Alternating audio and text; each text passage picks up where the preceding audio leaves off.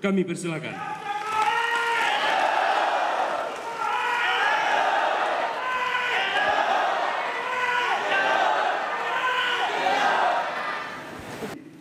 Pidato tahun 1955, pidatonya tahun 1955. Kok saya ada di dekatnya?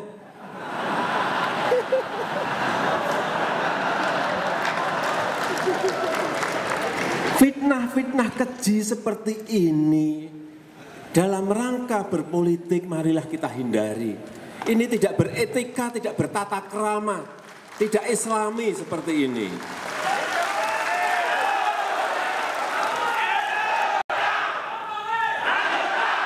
Waktu saya lihat di medsos, ini tadi gambar tadi, kok ya persis wajah saya gitu loh.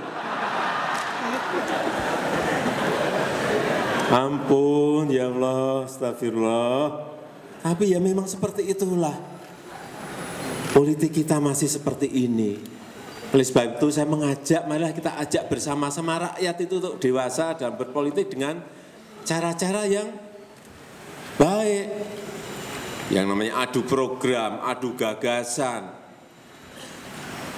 adu prestasi, adu rekam jejak, cara-cara seperti itu yang ke depan harus kita kedepankan. Jangan dengan cara-cara gambar-gambar kayak tadi. Itu kasihan masyarakat, kasihan rakyat.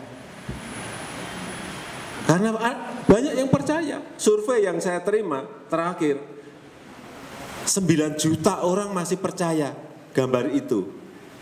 Padahal nggak logis, lahir saja saya belum sudah di dekatnya DNA ID, ya kan? Tapi ya gambarnya 9 juta orang percaya mengenai ini, coba.